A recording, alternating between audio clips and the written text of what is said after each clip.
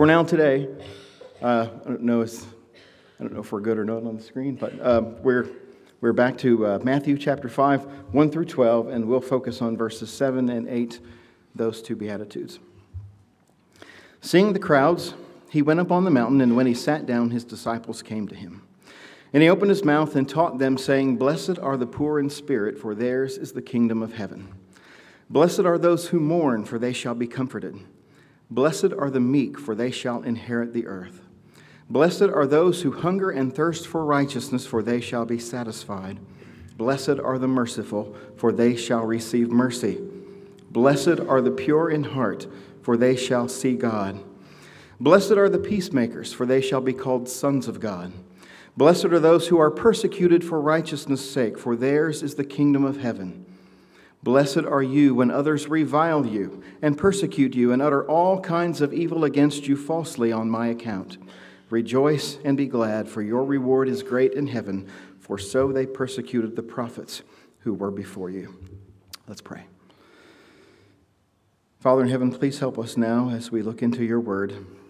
I pray that it would touch and convict us where we need it.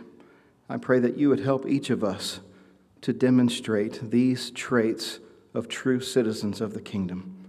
I pray that you would help us to love and encourage one another and uh, even to rebuke one another as necessary, that you would be glorified, that you would help us to be your holy people, and that you would help us to, to be about your business in the, in the things to which you have called us. In Jesus' name, amen. Now, throughout this study, been giving just a, just a quick review at the beginning because these are progressive and they follow along with the same principles. There are three things that we've mentioned with, with regard to all the Beatitudes we've studied so far. One is this is Jesus' prescription for true happiness. The Lord does want us to be happy based on His word and His principles and the life that we have in Him. Also, these eight Beatitudes are not eight different kinds of people, but eight different characteristics and traits that ought to be found in every true citizen of the kingdom.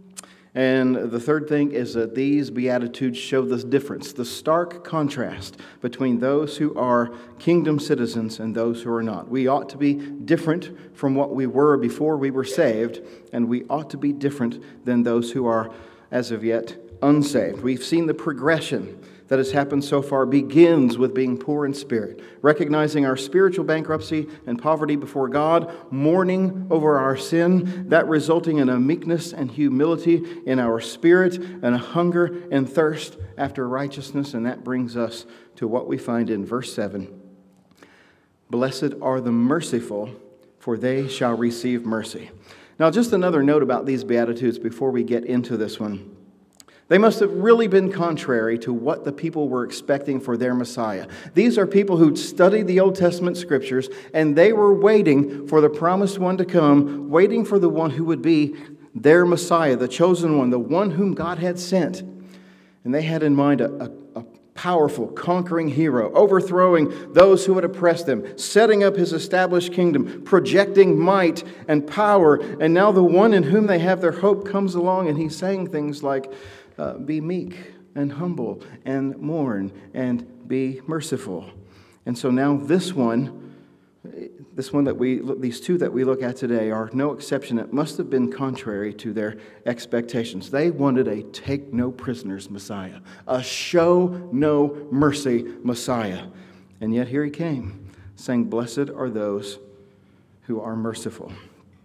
Now, the time in which Jesus lived and walked around the earth was not really characterized by mercy. The religious leaders of the time were very proud and they delighted in stoning people to death.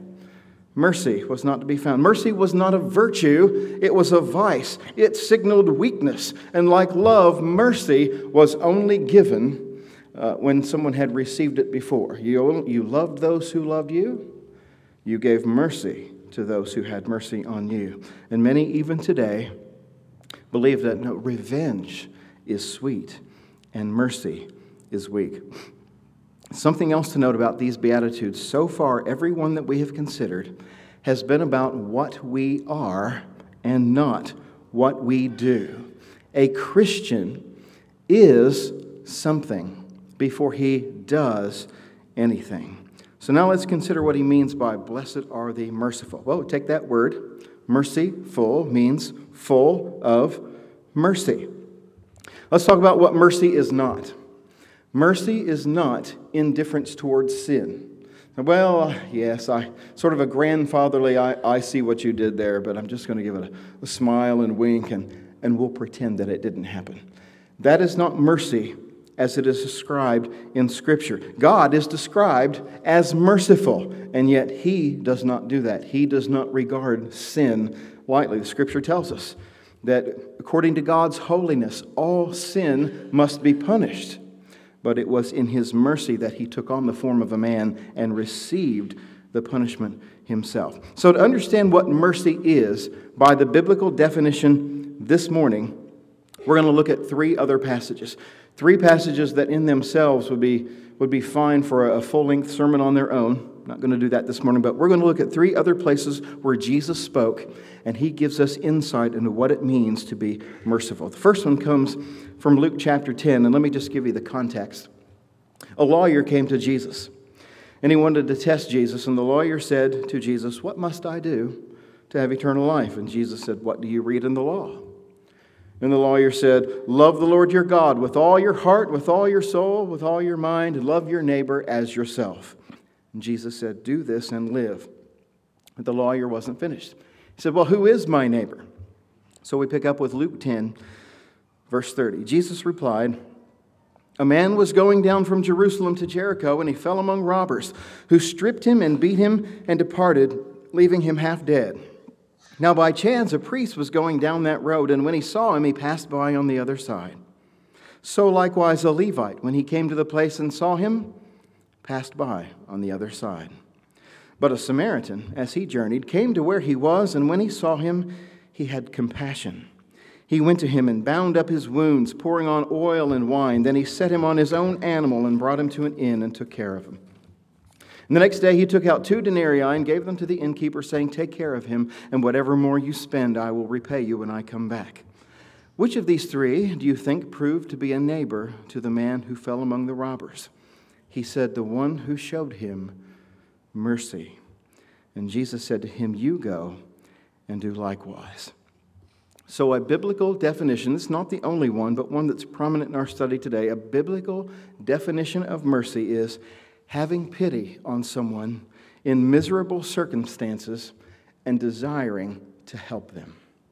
Having pity on someone in miserable circumstances and desiring to help them. Now, doesn't that describe God?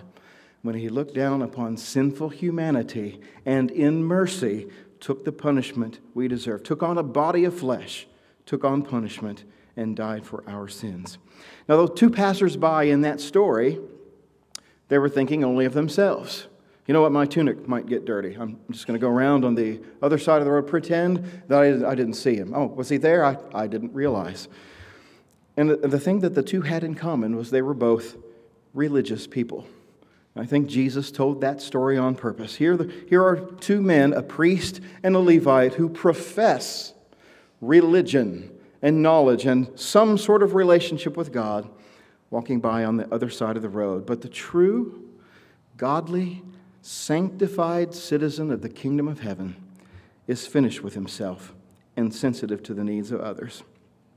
The second passage that will help us to understand. This comes from Matthew chapter 25. And the context of this is Jesus is talking about the judgment in the end when the Son of Man separates the sheep from the goats. And by that he means those who are truly saved and those who are not.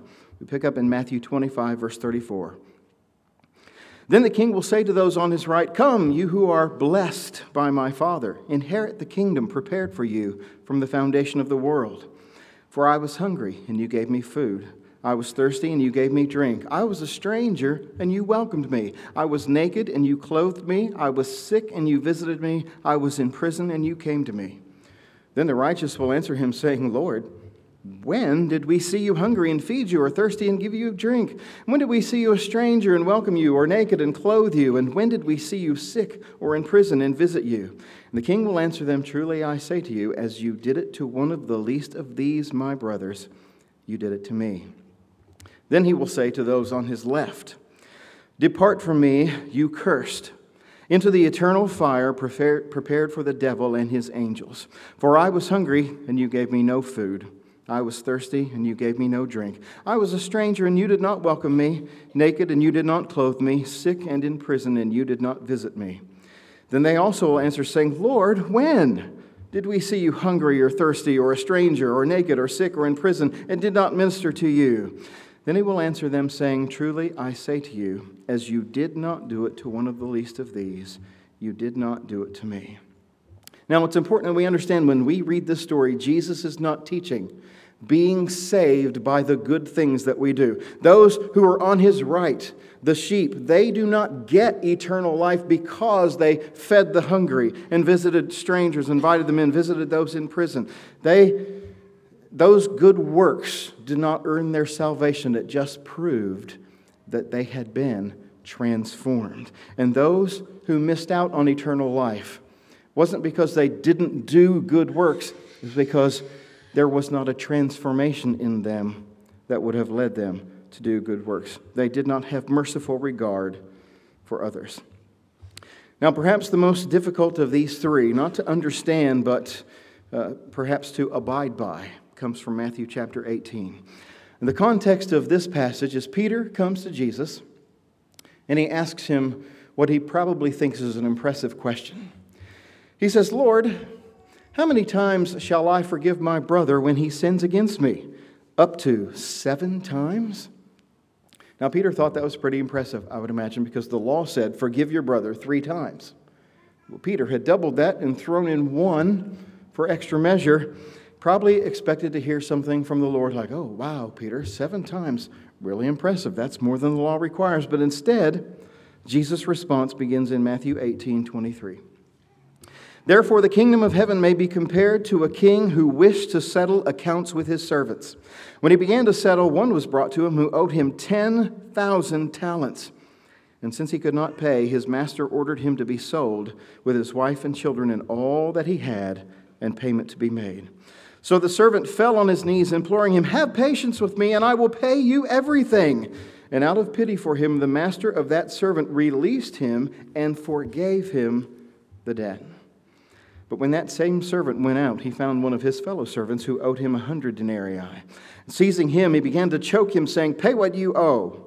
So his fellow servant fell down and pleaded with him, Have patience with me, and I will pay you. He refused and went and put him in prison until he should pay the debt. When his fellow servants saw what had taken place, they were greatly distressed, and they went and reported to their master all that had taken place. Then his master summoned him and said to him, You wicked servant. I forgave you all that debt because you pleaded with me. And should you not have had mercy on your fellow servant as I had mercy on you? And in anger, his master delivered him to the jailers until he should pay all his debt. So also my heavenly Father will do to every one of you if you do not forgive your brother from your heart. So it's clear, the clear teaching of this scripture is that we have no excuse when we have been forgiven of so much by the Lord to harbor anger and bitterness to the comparatively small things that others have done for us. Those amounts of money in there, the, the, the one man owed the equivalent of millions of dollars in our terms of money, and the other just, just a, a bare fraction of that. And the point is that we have been forgiven so much how could we not forgive the little that others have done against us? I want, I want to make sure we understand that last verse, Matthew 18 35, where he says, So also my heavenly Father will do to every one of you if you do not forgive your brother from your heart. Now, just, just like we mentioned earlier, we do not earn our salvation by forgiving others. That's very clear. We're not forgiven because we forgive others. We forgive others because we have been forgiven and we understand the debt that has been removed from us. If we are forgiven and transformed and a citizen of the kingdom of heaven, we will forgive others. So, a lack of, of forgiveness on our part warns of a lack of transformation in our hearts that is true of the kingdom of citizens. Happy and blessed are those who have received mercy and who understand it and show that mercy to others in forgiveness. That brings us to Matthew 5 8. Blessed are the pure in heart, for they shall see God. Now, when you read that, maybe that's a little bit more unsettling than all the other Beatitudes that we've looked at so far. You can, well, first of all, that they, for they shall see God. Like many of the other Beatitudes, that's emphatic in the Greek. It really means, Blessed are the pure in heart, for they, and they alone, shall see God. Now, we think about some of the other Beatitudes, and, and we might be able to claim for ourselves, yeah, I, I can say that I understand my poverty of spirit. I can say that I've mourned over my sin and, and that the Lord is, is working on me to, to be more meek and, and humble and to, to hunger and thirst after righteousness. But who in this room can say of themselves, I have a pure heart? Well, the answer is no one. So, what hope do we have? Well, let's, let's understand this as Jesus meant it and in the context of the, of the sermon that he is delivering. Like many of the other Beatitudes, this blessed are the pure in heart has application before someone becomes a Christian and has application after someone becomes a Christian. Before, well, when, when someone becomes saved, we have the promise of 1 John 1 9 that says, If we confess our sins, he is faithful and just to forgive us our sins and cleanse us from all unrighteousness. That word cleanse there is related to the pure, in pure in heart in our verse. In other words, just like the absolute perfection that we need to get into heaven, that we cannot come up with on our own, that we have to receive from Christ as we wrap ourselves in his righteousness, just as that happens for us to be able to have eternal life our heart is considered cleansed and pure at salvation, even though there remain things that need to be cleaned out of it through the ongoing process of sanctification. After salvation, let's, let's take some, uh, some hint from, from what we read of David. Psalm 51 has been featured a lot here lately. Perhaps that is something that the, that the Lord would have us to, to, to know and understand. I used it uh, last week in communion meditation, so did Marty, and uh, we have this reference to it here. Psalm 51:10, "Create in me a clean heart, O God, and renew a right spirit within me." Again, that was after David's sin. That was after Nathan brought him to, to conviction. He understood his need of repentance, and he is crying out to the Lord to cleanse and purify his heart. That doesn't happen overnight. That is an ongoing process of purifying our hearts that we, that we ask Him to do. David desired a cleansing before God, and the true kingdom citizen will as well. Now, one resounding theme that we find in Scripture is the importance of the heart. It's all about the heart. And that's much addressed. If you, if you go, well, you heard the Sermon on the Mount last week. If you go through and read that, so much of that is look at what you're doing, but where is your heart? Does your heart, is your heart the source? Is it the motivation for what you are doing? It is our human tendency to focus a lot on our outer being, to really, to really focus and prepare and perfect the outward presentation that we give to others of ourselves so that others will see us and think, wow, well, such a righteous or, or holy person, and we really focus and concentrate on our outer being. That's not, not, that is not what God does. God says, while man looks at the outside, God looks at the heart. Well, what is the heart? besides a physical organ that, that pumps blood, figuratively speaking, just, just like we use it today as to represent the center of our emotions. Back then, the heart symbolized the center of a person's entire motives and affections. So let's talk about that. Let's talk about, first of all, motives. Think about this any godly action can be done with improper motives or in a sinful way. You know, reading scripture is a, is a good and godly thing to do. But you know, reading Scripture can be done in a sinful way.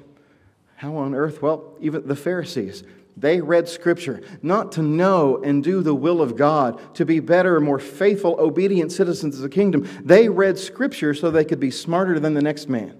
And they had little boxes called phylacteries that they put all their memorized scriptures in, and they fastened them to their heads so they could walk around with a little box attached to their heads. And the more they learned, the bigger the bigger the box. And people will say, "Wow." Would you look at the size of that phylactery? What a great amount of scripture that person must know. Uh, there's any number of things. Praying can be done in a sinful way. Jesus talked about that in the Sermon on the Mount, standing on the street corners, speaking out loud in order to be seen and heard by men, giving offerings, blowing trumpets. All of those things, the focus of the Lord in the sermon and throughout the New Testament is on the heart. Pride, self righteousness, the desire for man's approval, man's acclaim, all of those can be faulty motives when we do things in which we, we claim to honor God, and yet we are only pretending to honor God. When we do things that the Lord has called us to do, yet with a heart whose which, the motives of which are impure, not only are those acts worthless, but they are a hateful offense in the sight of God. Listen to what God says in Isaiah chapter 1, beginning in verse 13. Bring no more vain offerings. Incense is an abomination to me. New moon and Sabbath and the calling of convocations, I cannot endure iniquity and solemn assembly. Your new moons and your appointed feasts, my soul hates. They have become a burden to me. I am weary of bearing them. When you spread out your hands, I will hide my eyes from you. Even though you make many prayers, I will not listen. Your hands are full of blood.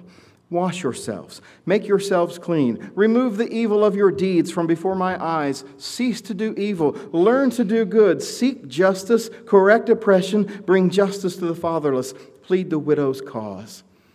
Now it was God Himself who had commanded all of those offerings and feasts and the burning of the incense and all those things that in this passage He says He hates. And the reason he hated it is because the people's hearts were far from them. They were going through outward religious motions without any desire to know or please or be faithful to God. When Jesus was choosing his disciples, he came up to a young man named Nathanael, and Jesus said, Behold, an Israelite in whom there is no guile. Oh, what does that mean? Well, first of all, Jesus said, Behold, which is a way of saying, Wow, this is unusual. An Israelite in whom there is no guile. An Israelite who's not just pretending, who's not just doing outward acts, acts on the outside to, to draw the acclaim and the praise of men. You may recall from that story, Jesus said something that really amazed Nathanael. He said, I saw you under the fig tree. You say, what is so amazing about that? Well, there was no one else around. Nathanael was off way by himself under a fig tree having a devotion with God Himself. Well, how could Jesus see that unless He was God Himself? And Jesus says, Wow, an, an Israelite in whom there is no guile, who faithfully wants to draw near to God in his devotion. So the heart is the center of our, mo- uh, of our motives, and also it is the center of our affections. Let's talk about that just briefly. The one who is pure in heart is one whose heart's affections are not divided. That is actually what the Greek means when Jesus says, Blessed are the pure in heart. It really means, and, and came across to the original hearers, Blessed is the one whose heart is not divided in its affections, divided between trying to love God and love the things of this world.